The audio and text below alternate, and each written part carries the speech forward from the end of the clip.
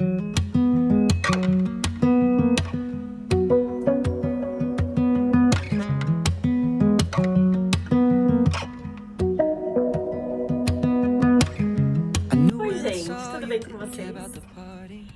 eu quero bater um papo aqui com vocês e o assunto é gravidez. Como vocês viram, eu anunciei aqui no canal um tempo atrás a super novidade, que eu estava grávida. Eu contei um pouquinho de como foi esse processo é, de engravidar, da descoberta, é, os primeiros exames que eu fiz, como foi na médica. Então, se você tem interesse nesse tipo de vídeo, corre lá se você ainda não viu.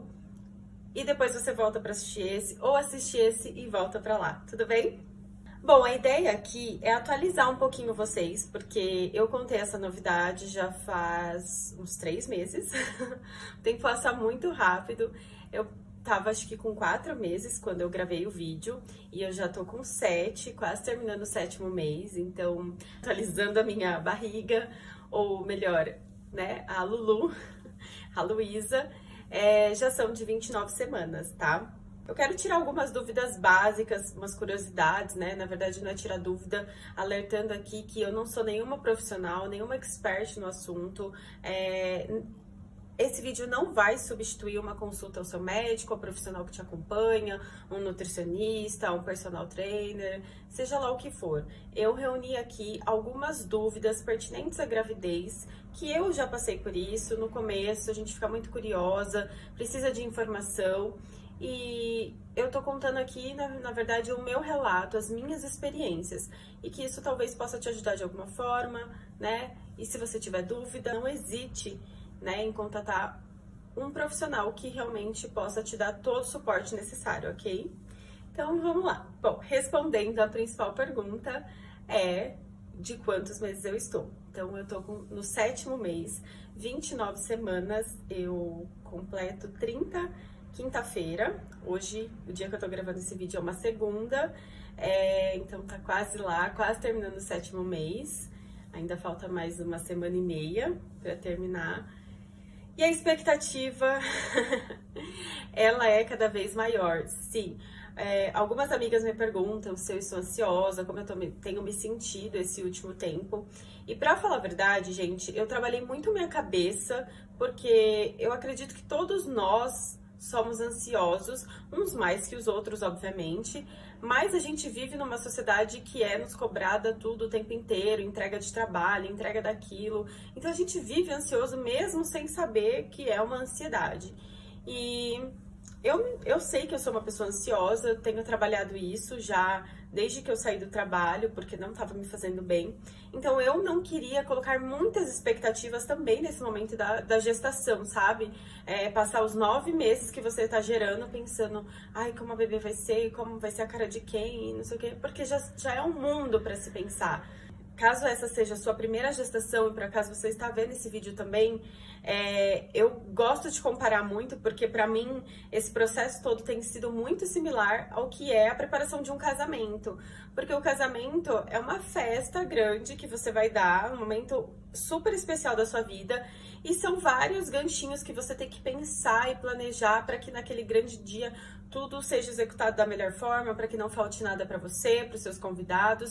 E eu vejo a gestação muito dessa forma, sabe, gente? Porque, é, na realidade, para mamães de primeira viagem é essa sensação. A gente não sabe o que esperar, sabe? É uma caixinha de Pandora mesmo, que você escuta muita coisa de pessoas, é, então são experiências, é, as pessoas começam a palpitar, você precisa disso, daquilo e aquilo outro.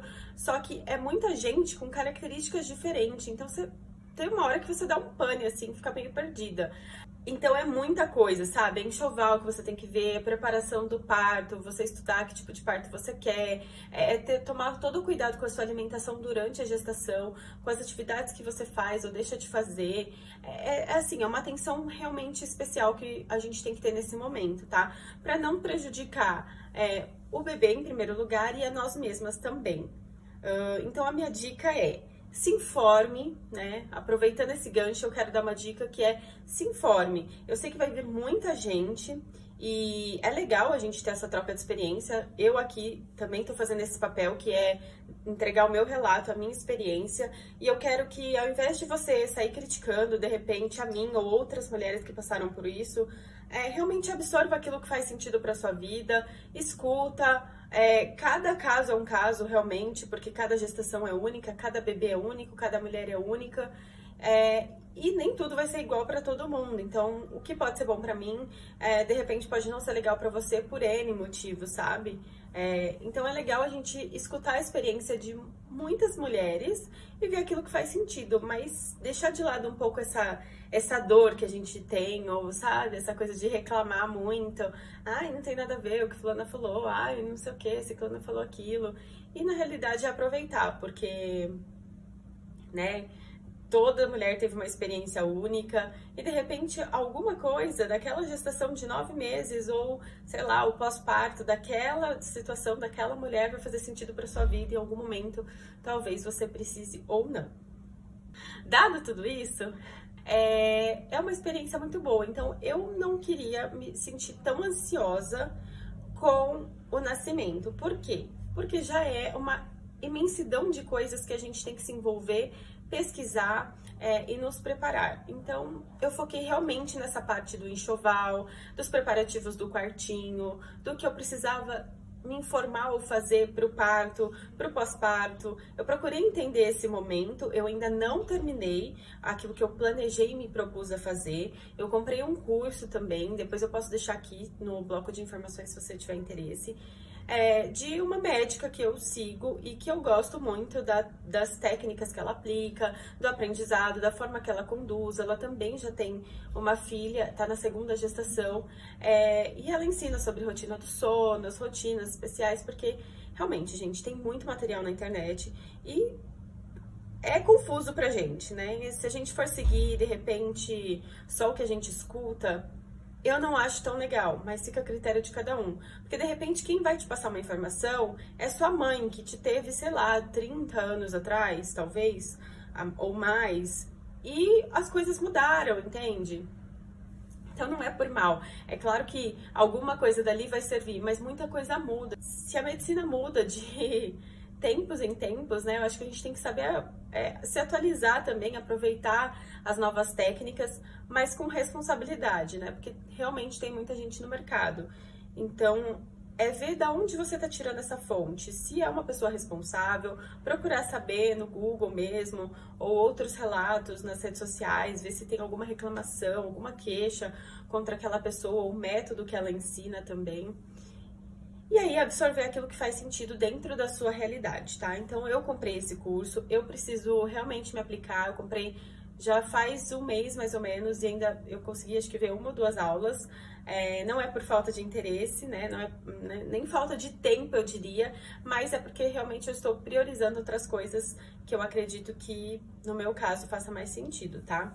E eu vou deixar esse curso um pouco mais pro final, é, perto do nascimento, onde eu não vou conseguir fazer tanta atividade física no sentido de movimentar, então vou ter mais tempo ocioso, em que eu possa ficar mais no sofá e me dedicar para esses temas de estudo mesmo, tá? Aproveitando esse gancho também, isso quer dizer que até hoje, o sétimo mês, eu tentei, procurei fazer tudo aquilo que exercia uma força minha, né? Atividades motoras mesmo. É, então, de repente, o que eu quero dizer com isso é, eu fui buscar fazer o enxoval e aí eu ia é, eu fui no Brás, eu fui já na Lapa pesquisar, eu ia nas lojas comprar. Então, essa locomoção, assim, coisas que dependiam de uma força física, é, eu preferi fazer até aqui porque eu escutei de muitas mamães que depois de certo tempo é, fica mais cansativo, o peso, né, do bebê e você, a gente fica mais ofegante porque é sangue circulando a mais, você tá carregando uma vida, então você realmente fica mais cansada e eu preferi fazer dessa forma. Falando de como eu me senti até aqui, até o sétimo mês, é, eu não sei, eu não lembro se eu cheguei a comentar isso no vídeo que eu fiz a revelação, mas nos primeiros meses e isso é muito particular de cada mulher, não é porque eu senti que você vai sentir. É... cada mulher tem, novamente, né, tem uma experiência. E no meu caso, graças a Deus, eu fui muito abençoada. Eu não tive enjoos é, até o quarto mês. Na verdade, até hoje, né? Eu tive alguns momentos esporádicos que eu passei mal, que eu vou falar um pouquinho já já. Mas eu não tive enjoos, sabe? De todo dia, com aquela ânsia. O único sintoma, assim, que eu tive no início da, da gestação foi realmente o sono. É, era um cansaço... É um cansaço que eu precisava dormir um pouquinho. Era sempre após alguma refeição, gente. É impressionante. Eu acho que, sei lá, você fica bem alimentada, vai dando aquela, sabe, aquela sensação de relaxamento. E eu via muita necessidade de esticar um pouquinho aqui no sofá. Era um cochilo de 20, 30 minutos que resolvia a minha vida. Perfeito, né? É, e era só uma vez realmente ao dia. E isso já me satisfazia. Foi o único sintoma que eu senti no início da gestação. Como muitas mulheres já sabem, né? Talvez se você esteja passando por o segundo trimestre da gestação, é o trimestre que todo mundo fala que ele é mais tranquilo, no sentido de que os enjoos normalmente já passam, os sintomas mais chatos do primeiro mês, de, de dor, de cansaço. E também não tá aquele peso do terceiro trimestre. Então, no segundo trimestre, é, o sono realmente ele passou, no meu caso. Eu não via mais necessidade de tirar os cochilos. Uh, de sintomas físicos, a única coisa que eu sentia realmente era um desconforto, principalmente aqui. É realmente onde o bebê aloca, gente. É para baixo do umbigo, assim, no, no, baixo da barriga, sabe? Algumas vezes era para cima também, mas normalmente aqui embaixo, uma espécie de cólica, é, às vezes um peso grande. No começo, no quarto e no quinto mês, eu sentia essas dores mais localizadas aqui e parecida com uma cólica porque, na realidade, o seu corpo, ele tá... O bebê tá ganhando espaço, ganhando peso, crescendo e ele tá expandindo aqui dentro. Então, seu útero expande, né? A placenta se locomove, o bebê também se locomove. Então, aquilo gera um desconforto realmente. Mas, é, pra mim, não foi nada grave, assim. Eu tenho dores piores no dia a dia, com enxaqueca, com outras coisas. Então, faz parte do processo. Eu sempre coloquei isso na minha cabeça, de tentar também não focar muito na dor, porque nada mais é, a gente precisa entender que a gente está gerando um corpo dentro do nosso corpo. Então, não vai ser sem dor, não vai ser, sabe, lindo, maravilhoso. E dentre todas as coisas possíveis que acontecem com milhares de mulheres, eu me sentia sempre privilegiada nesse sentido. Porque, gente, eu sei, já escutei histórias de mulheres que tiveram que ficar de repouso uma gestação inteira. É, pré-eclâmpsia, outras coisas, e realmente isso deve ser muito difícil. E graças a Deus eu não tive, então eu tentei focar positivamente nesse, mesmo nesses pequenos sintomas, sabe? Que realmente não era nada demais se comparado a outras dores, a outras coisas. E, como eu disse, é uma parte natural do processo. Já para o final do segundo trimestre, o sexto mês e agora o sétimo mês, as dores mudaram um pouquinho, né? A barriga, é, essa dor de cólica, é, eu não, não costumo sentir muito, é muito esporádico, muito de vez em quando mesmo.